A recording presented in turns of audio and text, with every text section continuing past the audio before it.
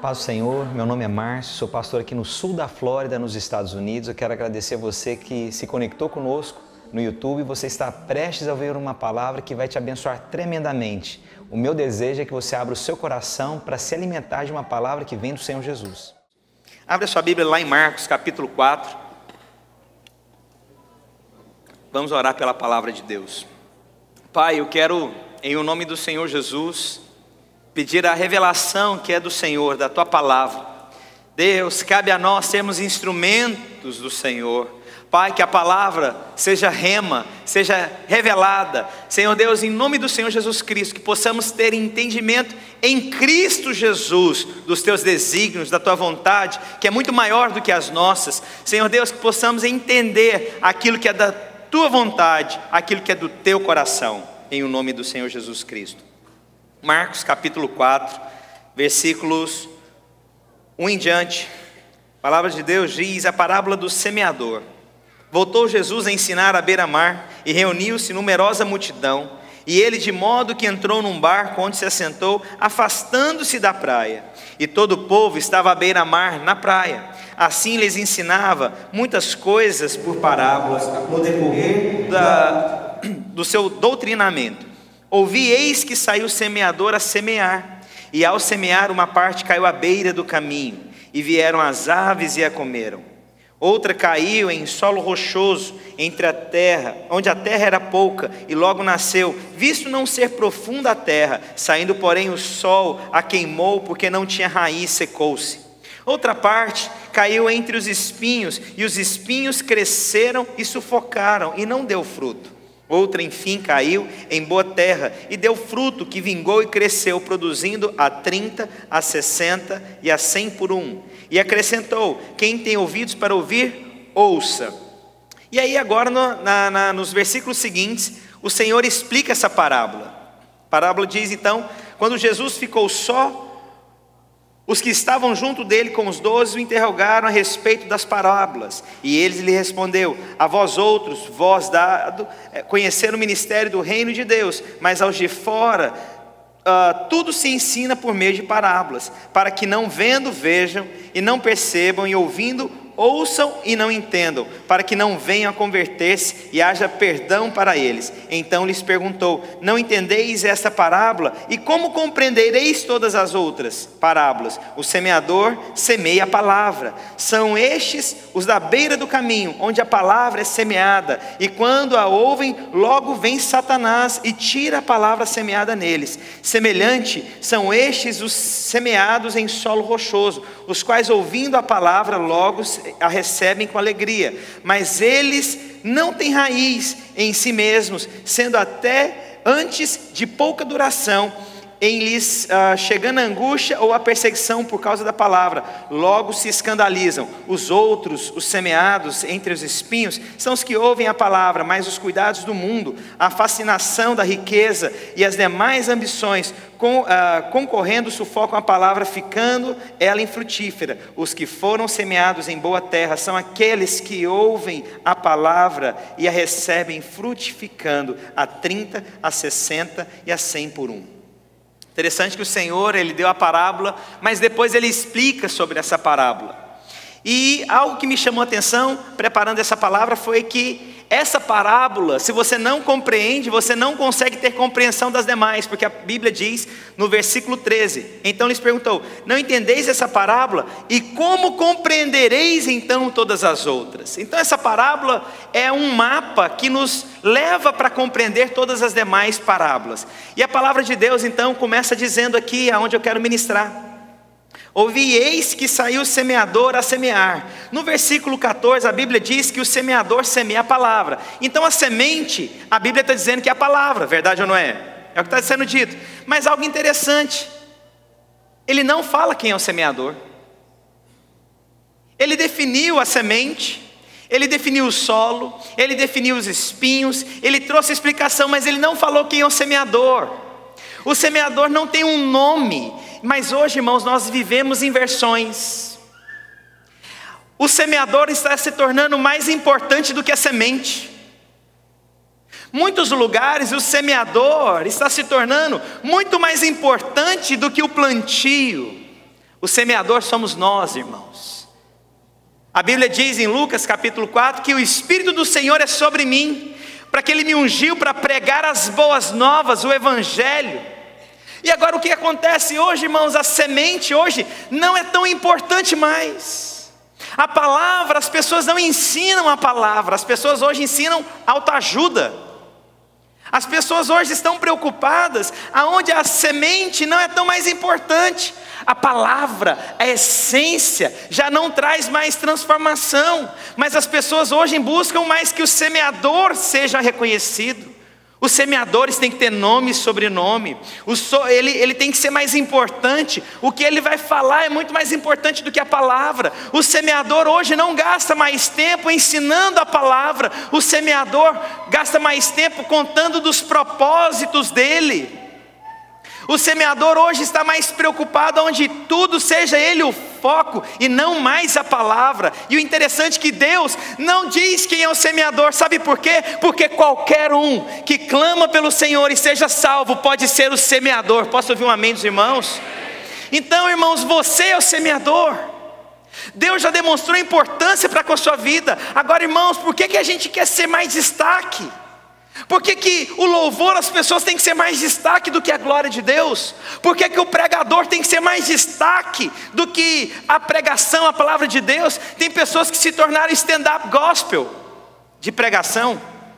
Tem pessoas que é, é um show, um negócio impressionante, onde tudo tem que ser Ele o centro. Deixa eu te falar, é a palavra que é o centro, é Jesus que é o centro, é aquele que se fez homem para nos salvar, que é o centro de todas as coisas, não somos nós. Nós somos o canal, mas está tendo inversão, e a palavra de Deus diz. O Senhor diz no versículo 14: a semente é a palavra, mas Ele não diz quem é o semeador.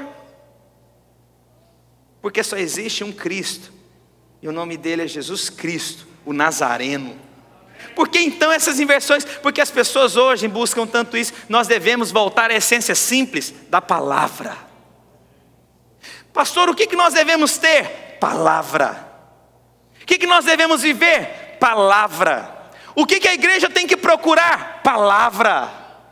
Porque isso, irmãos, é que o Senhor nos demonstra: palavra conhecereis a verdade e ela vos libertará. O Senhor está querendo libertar os cativos através da palavra.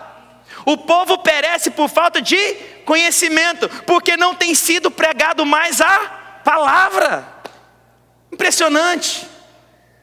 Crente que não cresce, que não amadurece, que não avança, porque não tem sido semeado palavra. Palavra entre os, entre os crentes, palavra entre os ímpios, trazendo a semente, trazendo as boas novas também. Interessante, você pode colocar aqui que esse semeador, tanto tem a ver que é aquele que semeia para os crentes, quanto aquele também que semeia as boas novas para aqueles que não conhecem. Quero te dizer, irmãos, o semeador não é mais importante do que a semente. No dia que eu chegar aqui, irmãos, e os holofotes forem para mim, as luzes brilharem para mim, eu quero te falar, irmãos, você tem toda a liberdade para me exortar em nome do Senhor Jesus. Pastor, guarda o teu coração, porque a, semente é mais importante do que o semeador. Mas o que, que nós vivemos? Vamos ser honestos. Semeador é o mais importante. Ele é o exaltado. As pessoas falam mais o nome dele do que Jesus. As pessoas temem mais a Ele do que Cristo. Quero te dizer, você é um semeador. E você não pode ser maior do que aquele que te enviou, porque foi Jesus que te enviou. Amém? Isso é a palavra de Deus. Glória a Jesus. Então, por que, que é um espetáculo? Nós devemos voltar à simplicidade de pregar a palavra. Sabe o que, que o ímpio está precisando lá fora, irmãos? Não é de um show gospel, stand-up, que ele vem e fique rindo, não. Ele está precisando, sabe de quê? Palavra, das boas novas. Falar, olha, eu estou aqui, Deus me mandou para pregar a palavra no seu coração. Eu vou lançar semente, estou aqui para lançar semente no seu coração, estou aqui para pregar a palavra, estou aqui para falar que Jesus Cristo morreu na cruz do Calvário e ressuscitou ao terceiro dia. Você aceita Jesus como Senhor e Salvador. Sabe, irmãos, é levar a pessoa ao arrependimento, é pregar a palavra. Você, semeador, você tem pregado a palavra, você tem vivido a palavra, você tem semeado as boas novas. E aí, agora, quando a gente lê esse texto, muitas vezes a gente pode pensar: não, mas o semeador jogou a semente em lugares que não cresceu. Ele não fez avaliações primeiramente. Eu quero te falar, irmãos, não cabe a nós avaliarmos quem é e quem não é. Cabe a nós é pregarmos a palavra. Mas nós não. A gente que não, esse aqui é difícil, eu não vou pregar a palavra. Esse aqui é complicado, eu não vou pregar a palavra. Olha o que a palavra de Deus diz.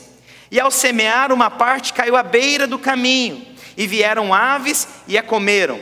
Há um tempo atrás nós ministramos uma palavra que está lá em Marcos capítulo 10, versículo 46. Pessoas que viviam à margem do caminho. Quantos estavam aqui naquela palavra? Depois você pode ver, tem lá na internet é, pessoas que vivem à beira do caminho. O interessante que, vamos ler lá, abre lá em Marcos, capítulo 10, versículo 46, só para a gente ter uma noção do que, que eu estou querendo dizer aqui. A Bíblia diz lá no versículo 46: E foram para Jericó, quando ele saiu de Jericó juntamente com seus discípulos, numerosa multidão.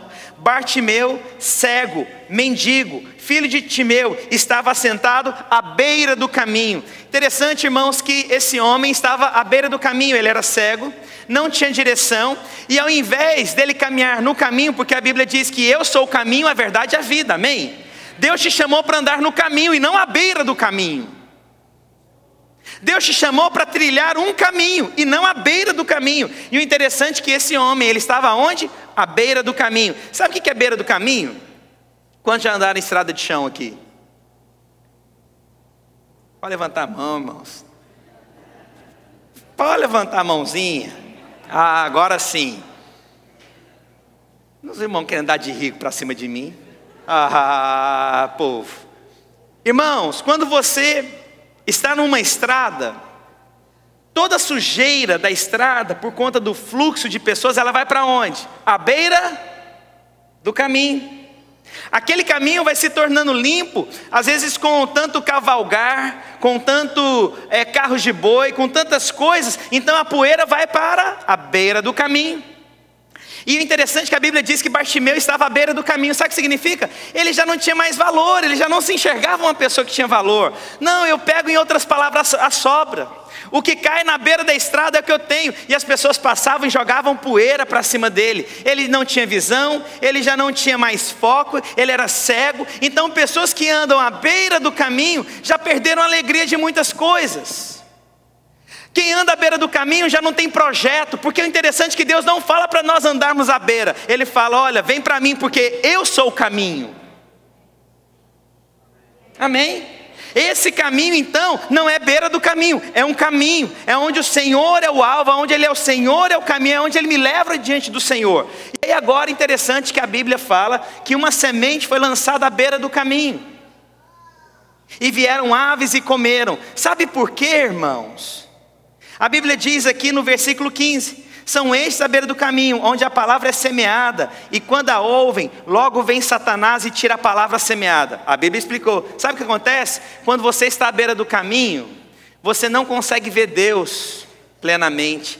Aí é mais fácil e mais sutil de Satanás roubar a palavra. Por isso a Bíblia diz que então, aqueles que estão à beira do caminho, Satanás rouba a palavra. Sabe quando que eu percebo alguém que está esfriando diante de Deus? Quando elas não assumem responsabilidades na vida da igreja. Elas tinham uma responsabilidade e elas começam a se afastar achar justificativa, achar falhas no homem, achar circunstâncias. Aí elas começam então a sair daquele caminho, daquele alvo, e elas começam: não, eu queria dar um tempo. Eu quero parar durante um tempo, eu preciso dar um tempo. E elas saem do caminho, elas vão para a beira do caminho facilmente Satanás vai roubar a semente que foi lançada na vida dela. É isso que a palavra de Deus está dizendo. Tem pessoas que têm saído do caminho, têm caminhado à beira do caminho e Satanás está roubando o projeto de vida, está ceifando a sua família, está roubando a palavra que transforma e você não está percebendo. O problema então, irmãos, não é o semeador, o problema aqui agora tem a ver com aquele que está recebendo a semente. Ele está à beira do caminho. Ele não se envolve com os projetos de Deus. Muita gente pode achar, não, mas o semeador não deveria ter semeado a palavra, a, a, a semente. Deixa eu te falar, irmãos, o semeador tem que semear a palavra em todos os lugares. Glória a Deus. Fala para o seu vizinho: semeador semeia a palavra em todos os lugares. Pergunta para ele: você é um semeador? Então o problema, olha aqui para mim agora. O problema, irmãos, não é o semeador, o problema é quem recebeu a semente. Os irmãos estão me compreendendo? De verdade?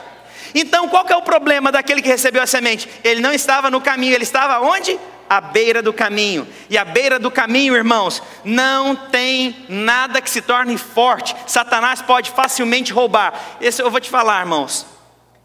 Quantos homens e mulheres preciosos da parte do Senhor eu conheci na minha vida? Conheci tanta gente preciosa, irmãos.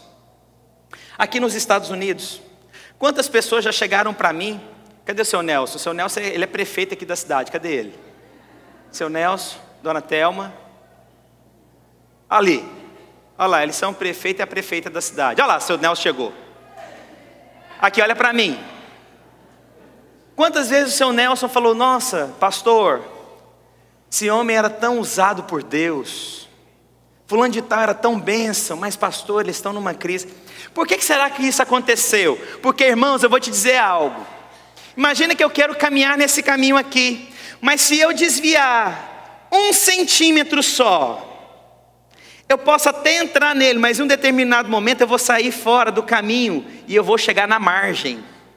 Sabe o que é isso? Muitas pessoas não têm percebido o pequeno desvio na sua vida e têm caminhado à margem. Quantas pessoas preciosas eu conheci que saíram do caminho, foram para a margem e Satanás está ceifando a vida, está ceifando projetos, está ceifando sonhos. Quero te falar, irmãos, essas boas novas, nós devemos entender que Deus quer que essas pessoas saiam da beira do caminho e voltem para o caminho que é Jesus Cristo de Nazaré.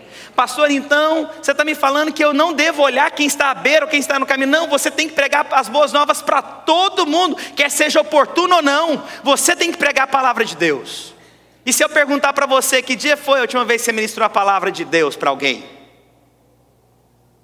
Semeador? Qual foi a última vez que você trouxe as boas novas para alguém? Semeador, qual foi a última vez que você fez algo para que as pessoas fossem impactadas? Semeador, semeador, você é semeador. Um dia você se deleitou dessa semente, irmãos. Um dia você se alimentou dessa semente. Não queira essa semente só para você. Se de graça você recebeu, de graça você vai dar. Se você experimentou e sua vida foi transformada, outras pessoas devem ser transformadas pela semente também. Glória a Deus. A Bíblia diz aqui também: outro caiu em solo rochoso, onde a terra era pouca, e logo nasceu, visto não ser profunda a terra.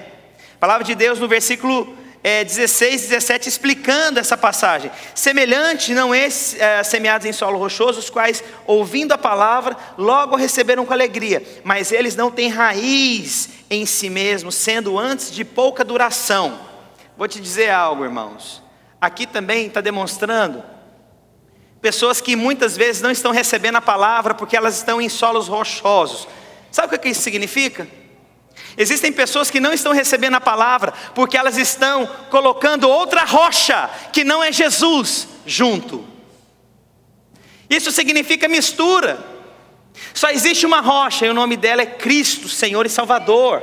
Mas a Bíblia está dizendo que a, a semente não nasceu porque haviam muitas rochas ao redor. Quero te falar, irmãos, essas pessoas aqui, para poderem ouvir a palavra de Deus, elas deverão se afastar de outros deuses, de coisas que vêm para competir, de, outros, de outras rochas. E aí a gente pode olhar, não, eu não vou pregar a palavra para essa pessoa porque ela não tem abertura para o Evangelho.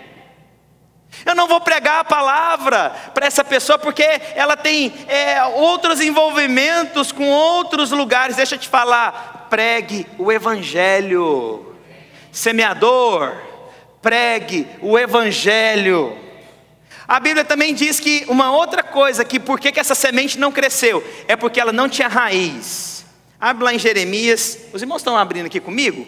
Jeremias capítulo 17, versículo 7. Olha o que diz a Bíblia. Bendito o homem que confia no Senhor e cuja esperança é o Senhor. Olha o que a Bíblia diz agora. Porque é como a árvore plantada junto às águas, que estende as suas raízes para o ribeiro, e não receia quando vier o calor, mas a sua folha fica verde, e no ano de sequidão não se perturba, nem deixa de dar fruto. Olha que interessante, a Bíblia está dizendo que aqueles que não têm raízes profundas, quando vem o sol, morrem. Mas a Bíblia diz que aqueles que têm raízes profundas, no dia que vier a tempestade, os problemas, ele está firmado em Jesus, não vai cair, não vai cair. Eu quero falar para os irmãos que estão aqui no exterior, que estão nos Estados Unidos da América, especificamente.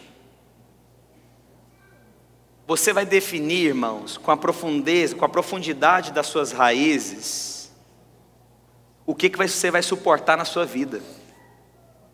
O que define o que você vai suportar com ventos fortes é onde você está edificando sobre a rocha e com fundamentos profundos, em outras palavras, com raízes profundas. Quem então está agora tendo a oportunidade de edificar algo, tem que edificar com raízes profundas.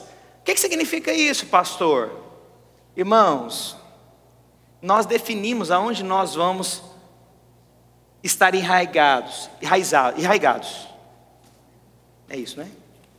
Estou esquecendo o português, I'm so sorry.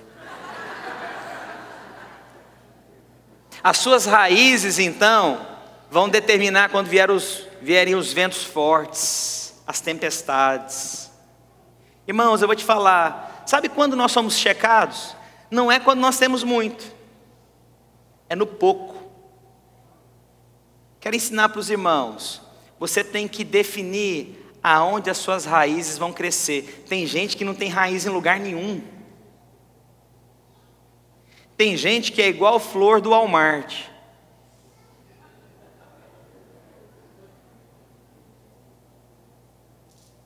A raiz não aguenta nem um espirro.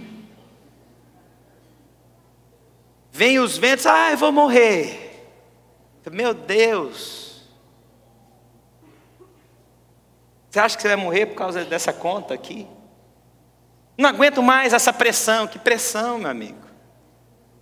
As raízes são fracas. Mas a Bíblia diz que aqueles que têm raízes profundos, na hora que vier a tempestade, o sol para queimar, ele não vai ser abalado, a Bíblia diz.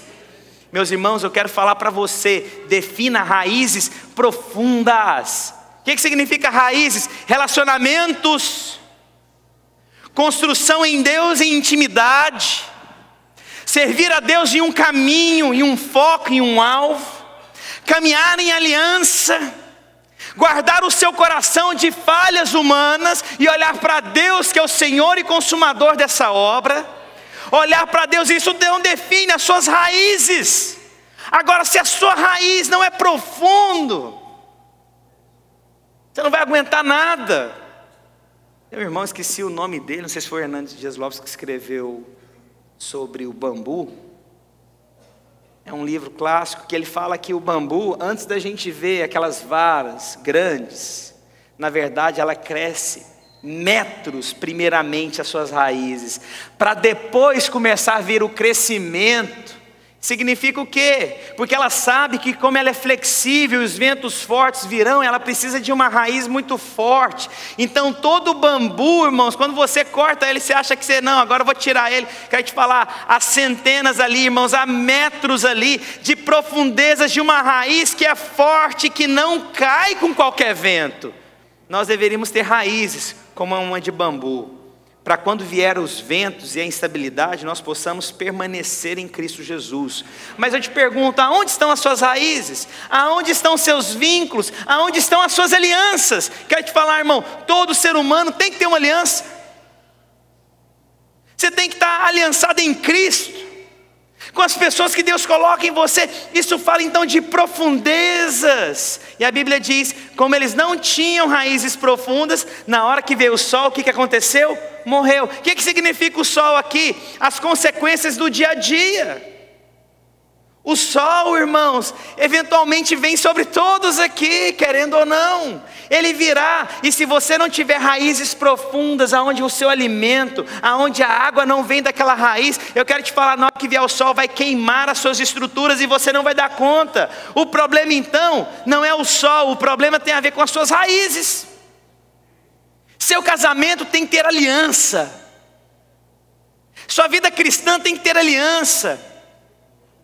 No seu trabalho você tem que ter aliança. Você tem que ter aliança com os projetos que Deus colocou na sua vida. Então eu quero perguntar para você: qual é a profundidade das suas raízes? Qual é a profundidade na hora que vem o tempo forte, os ventos fortes sobre você? Permanece? Ah, pastor, o problema foi o semeador que jogou a semente em um lugar que não tinha profundidade. Não. Não cabe o semeador escolher aonde ele semeia a palavra, ele tem que semear as boas novas em todos os lugares. Agora basta a gente que está recebendo a palavra, se nós estamos nos aprofundando em raízes. Raízes fala também, sabe de quê, irmãos? Um outro aspecto de raiz: constância. Quando você tem raiz, você está falando, eu vim para ficar, eu vim para permanecer. Eu vim para caminhar junto. Eu vim para suportar pressões. Quando nós estabelecemos raiz, eu não estou falando que, irmãos, quando você tem raiz não é fácil você ficar tirando árvore de qualquer lugar e plantando, não. Quando você tem raiz, você está falando então que a sua vida agora passou a ter constância. Agora você viu, já viu gente que não é constante, que a raiz não é profunda em lugar nenhum. Cada dia faz algo não tem nada, não tem aliança com ninguém, não serve a Deus com intensidade, as raízes são fracas. Por isso que quando vem tempestade, ela não suporta. Quantas pessoas o tempo inteiro, cada semana está numa igreja, irmãos? Deus que me livre. Vai, corre agora, porque agora não sei aonde. Agora corre do outro lado, vai para não sei aonde. Agora vai não sei aonde. Pelo amor de Deus, amigão, firma essa raiz aí, campeão. Não dá para ficar andando nessa plantinha, nesse vasinho de qualquer lado para o outro, não. Pega o vasinho, amor. Vamos para outro lugar agora. Aí pega o vasinho. Vamos ficar com esse vasinho aqui?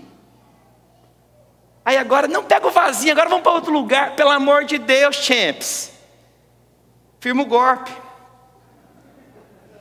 Cria raízes.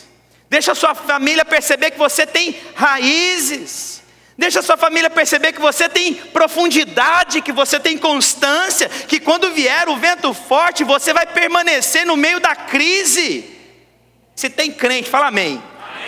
Ó, ô bichão. Senti firmeza agora. Você tem que ter raízes, profundidade, suportar as pressões porque qualquer vento te derruba. Tem gente que o tempo inteiro, qualquer espirro cai. Qualquer coisinha é problema, o mundo vai acabar, não me ama, está me abandonando. Oh, tem emoção difícil, pelo amor de Jesus. Tem que ter raízes. As suas raízes vão demonstrar quem é você nos dias maus. As suas raízes vão demonstrar que tipo de homem você está se tornando. As suas raízes vão demonstrar isso. A palavra de Deus continua dizendo: Saindo, porém, o sol queimou-se, porque não tinha raiz, secou-se. Outra parte caiu entre os espinhos, e os espinhos cresceram, e sufocaram, e não deu fruto. Espinhos, na semana passada nós falamos sobre isso que por conta do pecado, a Bíblia diz então que por conta disso agora você vai do seu do, do, dos frutos aqui, você vai ter que colher no meio dos espinhos, no meio de árvores cheias de espinhos. O espinho então ele aponta para algo que é fruto do pecado, ou seja, a consequência do pecado. E a Bíblia diz então que esses espinhos também a Bíblia fala aqui no versículo uh, versículo 18, os outros semearam entre os espinhos ah, são os que ouvem a palavra, mas, cuidar, mas os cuidados do mundo, fascina, ah, a fascinação da riqueza e as demais ambições concorrendo sufocam a palavra, ficando infrutífera. Sabe o que significa então, irmãos? É, os espinhos. Está falando de gente que está mais preocupado com as coisas do mundo do que com as coisas de Deus. Quer te falar uma coisa? Trabalhar do Senhor Jesus? É. Estudar do Senhor Jesus? É. Mas irmãos, o mundo não pode fascinar. Tem gente que se fascina com tudo, é fascinado com tudo. Qualquer coisa, perde o foco. Os espinhos, irmãos, fala também daquilo que é difícil, irmãos. Irmãos, espinhos fala daquilo que também nos incomoda. Quer ver? Eu vou te perguntar uma coisa. Você já pegou, já pregou, alguém já pregou a palavra para alguém que já te deu uma alfinetada na hora, te deu um, pegou o espinho, te cutucou de volta, falou: "Quem é você para você vir falar para mim?" Já aconteceu com você? Eu vou te falar, irmãos, pregar as boas novas também em meios espinhos é difícil, irmãos. Sabe aquela pessoa que você vai pôr a mão, você não tem jeito de pôr? Alguém já tentou colocar a mão em algum lugar e o espinho já vai rasgando, enfia do lado, você vai pegar do outro e pega do outro. E, irmãos, uma vez eu estava andando a cavalo, Jumento, na verdade, né? Porque não tinha dinheiro para andar a cavalo. Aí, não, jumento é carne, né? Era um bicho lá. Tinha quatro patas, irmão. Não sei como é que o bicho andava, não. Aí tinha uma árvore que chamava espinha-agulha. Quem conhece essa árvore? Espinha-agulha. Eita, Goiás, é lá mesmo. Irmãos, eu não sei porque que aquela aquele aquele animal de quatro patas, me levou nessa árvore. Adivinha? Mãos, eu nunca vi tanta espinha entrar para tudo quanto é lado. Eu não sabia que uma árvore tinha tanto negócio aquele. E me arranhou inteiro. Eu vou te falar, irmãos. É mais ou menos quando a gente vai pregar a palavra para algumas pessoas, tem pessoas que nos ferem o tempo inteiro. É como se fosse espinho agulha. O que você fala nunca é suficiente. Quando você prega a palavra não é suficiente. E aqueles espinhos te machucam. Mas o engraçado, o semeador não deixou de semear a palavra entre os espinhos. Eu vou te falar, irmãos, nós iremos caminhar para semear, semear a palavra entre os espinhos. O que, que é o espinho então, pastor? Eu vou te dizer, irmãos, todos nós aqui, numa medida, nós somos espinhos. Porque nós somos fruto de uma consequência de pecado. O espinho aponta para isso. Eu quero te falar, irmãos, de uma certa maneira nós somos espinho às vezes com alguns irmãos. Nós machucamos um irmão. Nós cutucamos um irmão. Mas eu quero te dizer, nada te impede de semear a palavra entre os espinhos. Quem deve mudar é o semeador ou é a pessoa que deixou a palavra crescer entre os espinhos? Eu vou te dizer, somos nós que devemos mudar entre nós, irmãos. É mais ou menos o seguinte, né? Eu já ouvi tanto essa história, pensei que eu nunca ia contar na minha vida, eu vou contar. Se eu já contei, finge que não viu. Se você sabe, finge que você não sabe. Os porcos espinhos estavam morrendo de frio. E eles não aguentavam mais ficar entre eles, porque ele, toda hora eles se espetavam demais. Aí eles tiveram uma assembleia dos porcos espinhos e falaram: olha, vamos fazer o seguinte: cada um vive a sua vida para lá. Porque eu não aguento mais, toda hora alguém me dá uma espetada, toda hora alguém vem e me cutuca, toda hora vem alguém e me machuca. E aí quando chegou o inverno, então, eles começaram a morrer por causa do frio. Aí eles fizeram uma outra assembleia. E chegaram então os porcos espinhos a uma conclusão. Falou: olha, quer saber de uma coisa? É melhor a gente viver perto um do outro e não morrer de frio e aceitar as alfinetadas, as espinhadas, os cutucões e a gente não morrer do que ficar lá fora e morrendo. Então vamos viver junto. Eu quero te falar, irmãos, igreja vai ter cutucão para tu quanto é lado, migão. O tempo inteiro. Mas a Bíblia diz que nós então não é deixar de semear a palavra, mas nós devemos perceber que os espinhos, então, estão nos tirando o alvo que é Cristo. O espinho, então, nós estamos mais preocupados com as coisas do mundo. As pessoas gastam mais tempo hoje fazendo coisas e atividades no mundo do que gastando tempo diante do Senhor, ou fazendo coisas que edificam. Ô oh, irmãos, se você gastasse 10 por 1% que você gasta na internet por dia orando, nós teríamos um avivamento nos Estados Unidos. Se nós, o tempo que nós pensamos em dinheiro, nós gastássemos para agradecer a Deus, nós teríamos multiplicação na nossa vida. Sabe o que, que significa? Nós estamos deixando os espinhos sufocarem um projeto que é maior que Jesus. Gostaria de chamar o pessoal do louvor. E uma pregação dessa eu vou ter que fazer um apelo. O apelo que eu quero fazer essa manhã. Existe alguém entre nós que gostaria de receber a semente que é Jesus, as boas novas, você não conhece a Jesus e que você gostaria de recebê-lo como Senhor e Salvador entre nós, existe alguém aqui?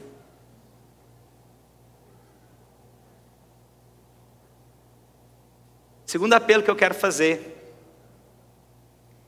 Existe alguém entre nós que tem deixado Satanás roubar a sua semente porque está à beira do caminho.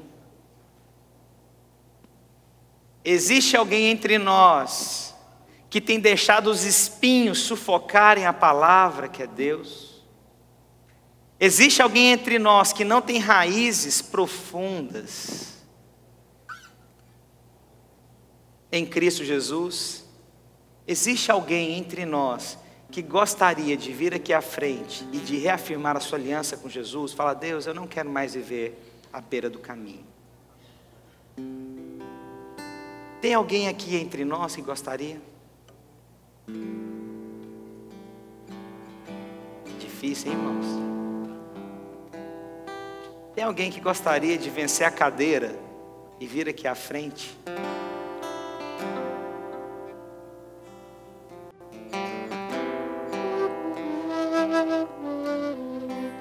Tem alguém entre nós que gostaria de não se preocupar com as coisas terrenas? Tem alguém que gostaria de se preocupar com as coisas do alto? Sai do seu lugar, vem aqui à frente.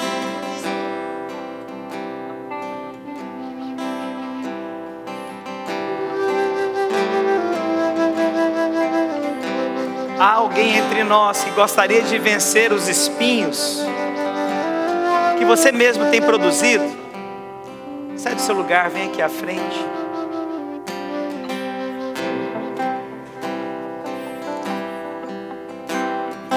Tem alguém entre nós que não tem colocado o Senhor como Senhor e Salvador na sua vida? E gostaria de falar que o Senhor é a rocha, que o Senhor é a rocha, quiser sair do seu lugar e vir aqui à frente.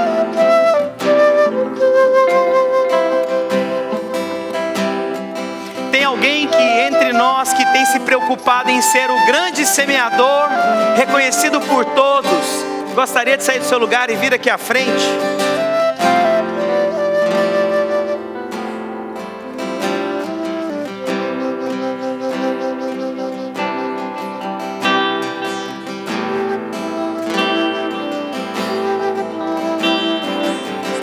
Está entre nós mais fascinado com a riqueza e as ambições desse mundo, a ponto de serem sufocados?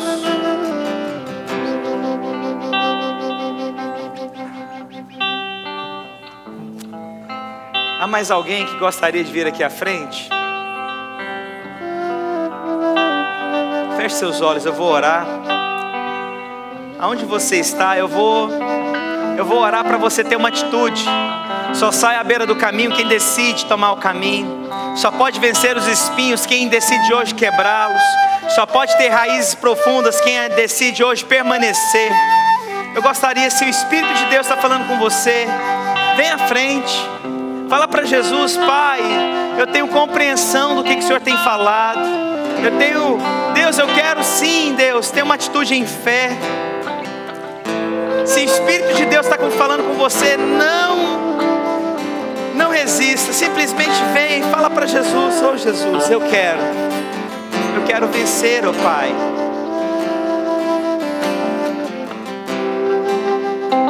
Oh Espírito de Deus, Pai. Pai, em nome de Jesus, eu quero esses preciosos irmãos que vieram aqui à frente, Jesus.